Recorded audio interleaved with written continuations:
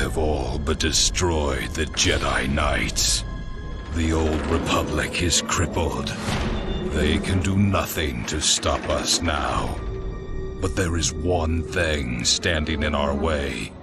One last Jedi who has yet to choose his true role in the galaxy. If he joins us on the path to darkness, those who fight alongside him will follow.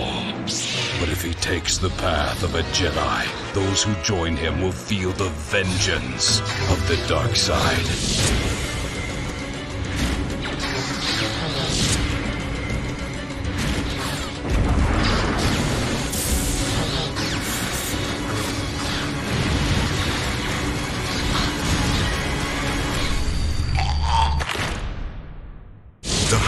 Anticipated sequel to the 2003 Game of the Year Star Wars Knights of the Old Republic 2 The Sith Lords.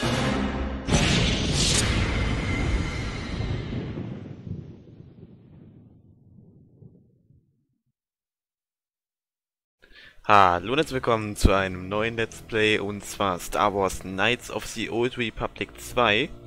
Jetzt nach dem Teil 1 wollen wir natürlich auch noch Teil 2 spielen und zwar auch noch in schöner 16 zu 9 Auflösung. Dann wir hier sehen, das Bild ist komplett und so wird es auch bleiben.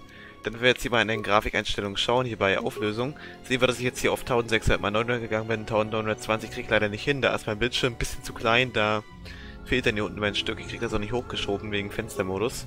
Aber ist auch nicht so schlimm. Ich, spiele halt sowieso in 720p hoch, von daher das reicht uns. Dann jetzt bin ich auf Standard gegangen, toll. Nein, Frame Buffer, weg damit. Aber vielleicht abbrechen. So. Frame Buffer müssen auf jeden Fall weg. Sonst macht das irgendwelche komischen Bugs. Ansonsten müsste ja eigentlich alles passen. Hoch passt auch. Ja, abbrechen. Auflösung ist immer noch gleich, perfekt. Schatten und Gras lassen wir auch mal drin, Helligkeit lassen wir auch mal so, wie es standardmäßig ist. Und wir fangen direkt an zu zocken. Dafür einfach mal hier auf das neue Spiel geklickt und wir fangen an. Dafür können wir uns mal wieder hier einen Charakter aussuchen. Hier die Wächter, Gesandter, Hüter. Was hatten wir überhaupt vorher gehabt? Ich weiß es gar nicht mehr. Hatten wir einen Hüter gehabt? Ich weiß es gar nicht mehr. Ich hab's total vergessen. Was hatten wir denn vorher gehabt? Vortrefflich mit Lichtschwert umgehen, Ausbildung ist, besitzen viele Fähigkeiten. Meister machen, trainieren. Nee, komm. Wir nehmen mal den Hüter. so, Stärke. Geschicklichkeit, Standardcharakter. Wir können auch einen eigenen Charakter erstellen. Machen wir das doch mal. Porträt. Ach komm, wir können das Bild wieder ändern. Ich weiß gar nicht, was hatten wir denn vorher gehabt? Oh, irgendwas, was gut aussieht. Das sieht voll wie Boba Fett aus. Die erste Folge wird übrigens auch mehr zum Einfinden sein. Denn auch hier weiß ich nämlich nicht, ob die Musik vielleicht zu laut ist oder irgendwas anderes zu laut ist. Das werden wir dann nachher wohl herausfinden müssen. Ah, man kann den Charakter ja nicht mal drehen, das ist auch doof. Ich weiß nicht warum, irgendwie habe ich das Gefühl, dass ich das genommen hatte. Ich nehme einfach mal das hier. Das sieht nicht so schrecklich aus. Attribute. Die Attribute deines Charakters bestimmen dessen Boni und Mali auf, was heißt Mali? Auf Angriffe, Rettungswürfe und Machtattacken. Behalte also die Attribute im Auge, damit du weißt, wie sie sich auf das Gameplay auswirken. Gibt's ja auch genau empfohlen. Machen wir einfach mal das Empfohlene. Das passt, glaube ich, am besten, weil ich mich damit jetzt sowieso noch nicht beschäftigt habe. Fähigkeiten. Alle Fähigkeiten deines Charakters haben eine Nummer. Diese Nummer steht für die Stufe der Fähigkeit. Ja gut, ist ja klar. Benötigt bestimmt die Effektivität der Spielfigur. Setzt du eine Fähigkeit ein, wirst du ihren Stufe mit dem jeweiligen SK verglichen. Summe, bla bla bla, das kennt man eigentlich alles. Aber auch mal hier das Empfohlene, dann passt das, glaube ich, am besten. Und wir machen einfach mal okay. Beispiel für das andere haben wir dann wahrscheinlich sowieso wieder irgendwelche Gefährten und sowas alles. So. Rüstung. Folgende Tangente. Okay, wir haben jetzt bestimmte Rüstungssachen erhalten. Nehmen wir auch mal hier das Empfohlene. Zähigkeit. Und okay. Der Name. Nehmen wir natürlich ganz klar, ganz klassisch. So. Okay. Und ich würde sagen, wir starten.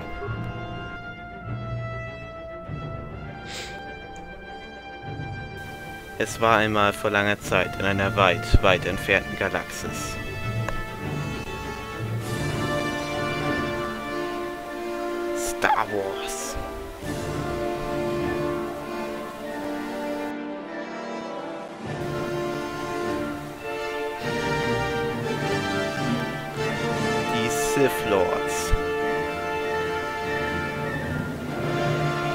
Zukunft der ganzen Galaxis steht auf dem Spiel. Seit ein grausamer Bürgerkrieg den Jedi-Orden vernichtet hat, droht die geschwächte Republik zu zerfallen. In den Wirren dieser Zeit bereiten sich die bösen Sith in der ganzen Galaxis aus, um die letzten noch verbleibenden Jedi-Ritter zu vernichten.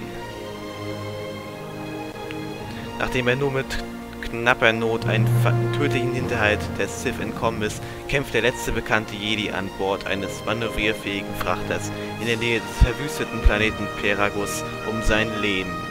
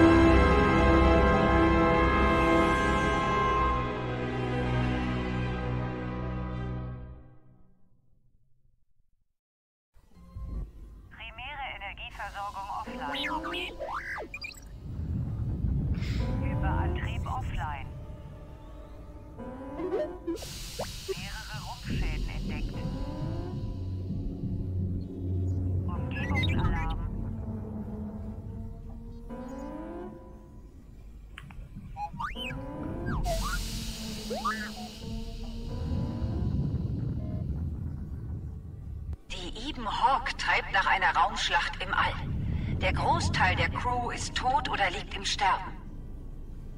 Du liegst schwer verletzt auf der Krankenstation. Ohne medizinische Hilfe wirst du in Kürze sterben. Der Hyperantrieb ist beschädigt. Jemand muss die Energieversorgung und die Triebwerke reaktivieren, damit das Schiff an der nahegelegenen Piragus-Station andocken und repariert werden kann. Dein Schicksal und die Zukunft der Eben Hawk lasten nun auf den Schultern des Astromektroiden T3M4. Kehre hierher zurück, wenn du den Prolog überspringen möchtest. Ne, wir setzen den Prolog allerdings fort, denn den will ich natürlich sehen. Drücke W, A, S oder D, um T34M zu bewegen. Mit Caps Lock schaltest du in die Ich-Perspektive um. Halte Steuerung gedrückt, wenn du dich umsehen möchtest. Okay, die Steuerung scheint wohl ungefähr gleich zu sein. Heißt ja nicht T3M4 und nicht T34M. Also gerade... Warte mal, dreht sich der Charakter eigentlich immer noch, wenn ich da aus dem Bild rausgehe? Nein, macht er nicht. Oh, Gott sei Dank, endlich. Das hat mich so genervt, dass das Bild immer sich ständig so gedreht hat. Jetzt zwar ein bisschen nur, aber es längst nicht so schlimm wie vorher. Also, guter Vorteil schon mal. So, Menü sieht auch immer noch gleich aus. Also, es ist ungefähr gleich aus. Wir haben hier wieder unsere Werkzeuge, wir haben unser Inventar. Gruppengepäck heißt es jetzt hier. Wir haben unseren Charakter hier. Wieder mit der Ausrüstung. Wir haben die Fähigkeiten. okay, das kennen wir ja auch schon. Wir haben hier die Gruppenauswahl. Gut, das wieder bisschen, sieht natürlich alles ein bisschen anders aus, ganz klar. Kannst du meist berechnen, ein anderes Mitglied der Gruppe auswählen. Okay, kann ich jetzt aber nicht. du bist also noch der Wechselcharakter zum Inventar nicht verfügbar. Du wirst seine Gegenstände verwenden, musst du Charakter erst wieder in die Gruppe aufnehmen. Okay. Tagebuch haben wir natürlich noch nichts drin. Karte gibt es auch wieder. Mit den typischen Symbolen, die ich nie ganz verstanden habe. Und natürlich die ganzen normalen Optionen. Alles klar. so, was haben wir hier? Eine Galaxis-Karte. Das ist die Karte der Galaxis. Du befindest dich in der Nähe der Peragus-Minenkolonie. Wenn der Hyperantrieb des Schiffs funktioniert, wählst du auf der Karte dein Reiseziel aus. Jo, das kennen wir ja noch. Ja, da kommen wir bisher noch nirgendwo hin. Deswegen machen wir das jetzt erstmal zu. Prolog. Ah ne, Prolog überspringen will ich nicht. Nein, Prolog fortsetzen will ich. Alles klar. Ich werde mich erstmal hier ein bisschen umschauen. Im Bildschirm laufende Aufträge findest du Informationen über deine Fortschritte. Öffne den Bildschirm, wenn du Tipps zur Vorgehensweise brauchst. Du hast neue Aufgaben. Wenn du sie betrachten möchtest, öffne mit Escape das Spielmenü und wirf einen Blick auf dein Tagebuch. Letzteres wird standardmäßig mit der Taste J aufgerufen. Okay. die Evonhav retten. Die ist beschädigt und treibt in einem gefährlichen Asteroidenfeld. Suche den Hyperantrieb und repariere ihn, um die primäre Energieversorgung wiederherzustellen. Anschließend kannst du an der Prägungsstation andocken, um das Schiff zu reparieren. Und da gibt es noch den Heilen-Bonus. Kritischer Zustand liegt auf der Krankenstation. Du kannst ihn mit deinem Medipack stabilisieren, fertig zu genesen. Man braucht ärztliche Hilfe, alles klar. Gut, das schauen wir uns dann alles später an, wenn dann die Zeit dafür reif ist. Diesem Raum steht ein Plastilbehälter und die Kommunikationskonsole. Ja. Möchtest du eines der Objekte benutzen, wähle es per Linksklick aus oder blättere mit den Tasten Q oder E durch die Liste der verfügbaren Ziele. Du stößt im Laufe des Abenteuers auf zahlreiche, zum Teil verschlossene Behälter. Mit der Computersonde, die du gefunden hast, kannst du auf die Funktionen von Computerterminals zugreifen, um beispielsweise Türen zu öffnen. Ja, haben wir zum Beispiel eine Kommunikationskonsole. okay. Klicke mit der linken Maustaste, um fortzufahren. System hacken. Machen wir das doch einfach mal. Tür des primären Frachtraums öffnen. Ja, das machen wir doch mal. Drücke Enter, um den Live-Feed abzubrechen oder zum Spiel zurückzukehren. Enter. Okay. Und dann können wir uns gleich wieder abmelden. Gut, ich denke mal, das wollten sie, dass man das hier macht. Beim letzten Spiel hat man diese Funktion da so gesehen überhaupt nicht gebraucht mit den Computern. Das größtenteils nicht. Jetzt hier an der Stelle. Der primäre Frachtraum. Okay. Beispiel dafür brauchen wir zum Beispiel Sicherheit. Das können wir aber auch, glaube ich, so öffnen. Mit der Fähigkeit nicht? Sicherheit kannst du diesen Spind nicht öffnen. Versuche doch ihn... Kannst gewaltsam öffnen. Markiere so dem Zielmenü auf dem Punkt schlagen. Okay, also entweder mit Sicherheit konnte man das ja damals öffnen oder mit Schlagen. Ich finde natürlich das sehr geil, dass die Symbole jetzt so riesig groß sind. Hoffentlich ist das dieser mit den Kämpfen nicht so verbuggt. Wenn du ein Wenn Behälter das letzte Mal war. öffnest, werden einige der darin enthaltenen Objekte zerstört. Was für ein Glück, dass du aus kaputten Objekten auf einer Werkbank nützliche Gegenstände herstellen kannst. Okay, danke für den Tipp. Das wusste ich jetzt gerade zum Beispiel noch nicht. Zwei Sonnen haben wir aber, glaube ich, nicht. Obwohl, doch, haben wir noch. Wie viele Sonnen hatten wir denn?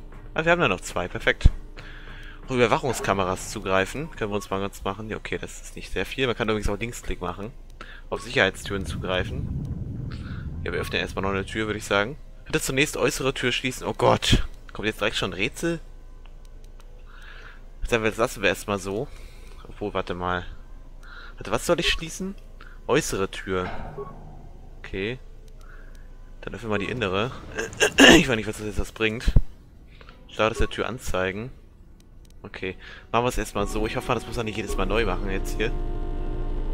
Sieht so ein kleines Rätsel aus. Ein Droide, der Teile dabei hat. Also die Steuerung ist doch größtenteils gleich. Versuchen wir mal, ob wir hier reinkommen können. Ja, ist das hier? Okay, was haben wir noch so? Wir gucken uns natürlich immer schön um. Ein Spinnschlüssel, okay. Frau scheint tot zu sein.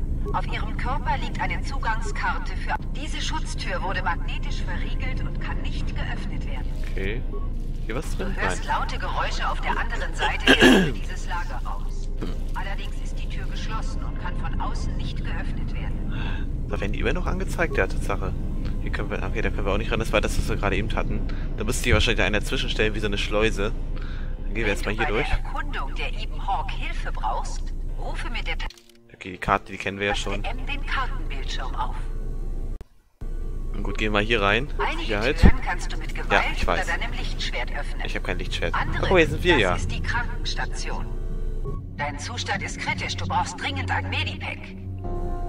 Okay, gibt's denn hier irgendwo ein Medipack? Vielleicht hier in der Kiste. Medikamentenbehälter, ja, Tatsache. Kriegen wir den so auf? Ja, perfekt, Medikit.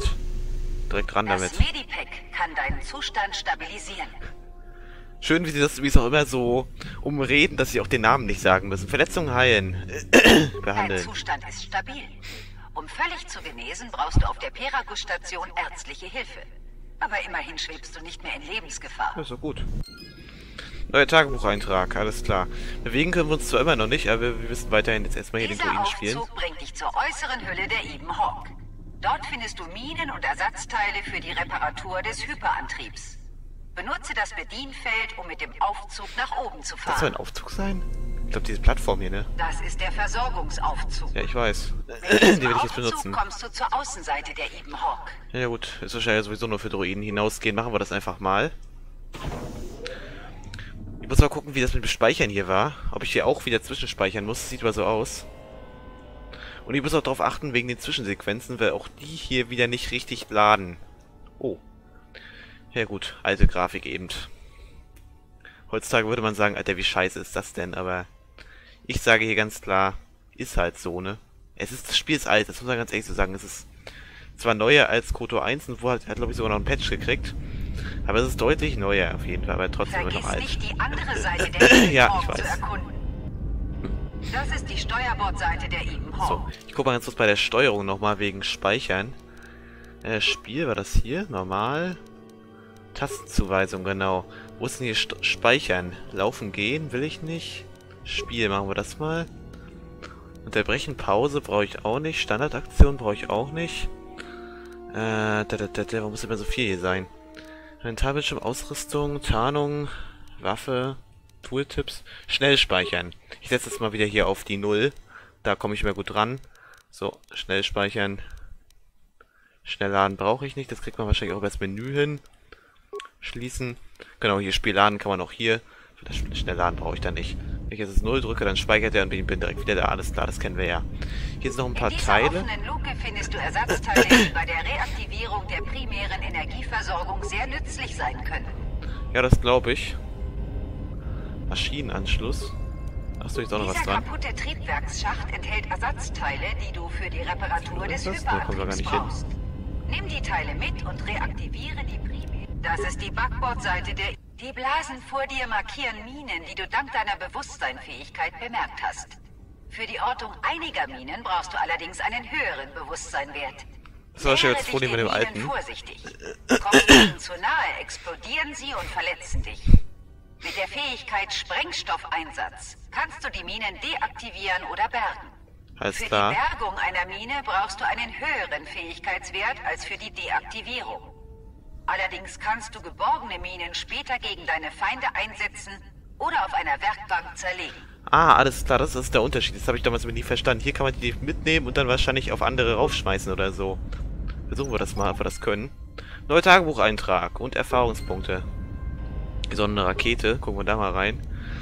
Eine schwache Splitterbombe und Teile. Mit dem Sprengsatz in dieser Rakete kannst du die Tür des Maschinenraums der Ebenhawk aufsprengen, um Okay. einen Blick auf den Hyperantrieb zu werfen. Mit der Maus kannst du Ziele auswählen. Während eines Kampfes darfst du nur auf Feinde zielen. Nach der Platzierung einer Mine solltest du übrigens in Deckung gehen. Okay, ja, das ist mir glaube ich auch klar. Gut, dann gehen wir mal wieder Mit zurück. dem Aufzug kannst du in das Ja, okay, kenne ich. Hineingehen. Wird auch wieder gespeichert, perfekt, dann brauchen wir jetzt nicht so speichern, aber ich mach's trotzdem nochmal, sonst kommen wir nachher durcheinander. So, Da der Rumpf des Schiffs im Bereich hinter dieser Tür beschädigt ist, verhindern Sicherheitsprotokolle deren manuelle Öffnung. Versuche dein Glück mit dem Sicherheitscomputer im primären Frachtraum. ja, okay, dann muss ich das mit Schleusen machen. Gehen wir erstmal hier rein. Wieder Aktionsmenü eine Mine aus. Platzieren Sie mit einem Linksklick. Mine des Gegners kannst du entschärfen und deinem Inventar verstauen. Okay. Okay, ich sollte jetzt vielleicht abhauen.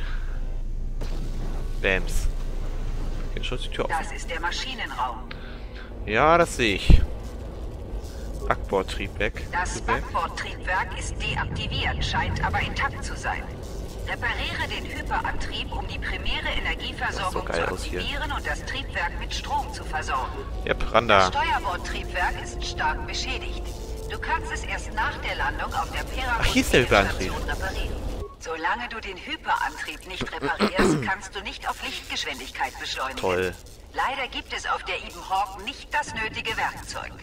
Vielleicht kannst du den Hyperantrieb aber notdürftig zusammenflicken, um die Energieversorgung und das Backbordtriebwerk zu reaktivieren. Danach könntest du an der Peragus-Station andocken, um den Antrieb zu reparieren. Fünf Ersatzteile, die haben wir hoffentlich. Der Hyperantrieb ist online. Primäre Energieversorgung reaktiviert. Du hast es fast geschafft. Kehre jetzt zur Sternkarte im Cockpit zurück und nimm Kurs auf Peragus. So. Ich glaube, den Teil hätte man jetzt, glaube ich, überspringen können. Aber wir sind ja keine Pussys, das machen wir natürlich auch mit. Gucken wir noch kurz auf die Map. So, hier ist also einfach geradeaus durch. Aber den Teil hatten wir, glaube ich, damals nicht hier, den Fahrstuhl. Zumindest kann ich mich daran nicht erinnern. Oder ich habe ihn einfach übersehen. Und könnte ich auch sein. Ja, ich weiß. Okay, ab zur Sternkarte und dann ab zu der Station da. Ich speichere nochmal ganz kurz ab zur Sicherheit. Das ist das Cockpit. Ja, Nimm jetzt Galaxiskarte. Kurs auf die Peragus-Station.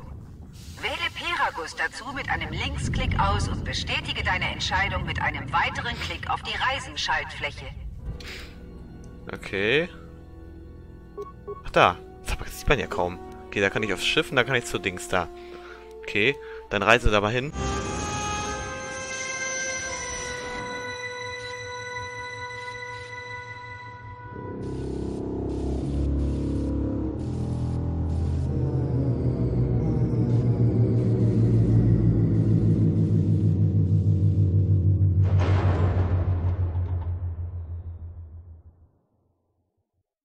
Folge Star Wars Knights of the Old Republic 2 ist leider schon vorbei. Zur nächsten Folge kommst du, indem du jetzt oben links klickst. Wenn du oben rechts klickst, kommst du zur Playlist, in der du alle Folgen dieses Spiels findest. Und wenn du in die Mitte klickst, kannst du meinen Kanal abonnieren. Ich würde mich auch auf jeden Fall freuen, wenn du beim nächsten Mal auch wieder dabei bist. Und da bleibt mir nur noch zu sagen, möge die Macht mit euch sein. Ciao.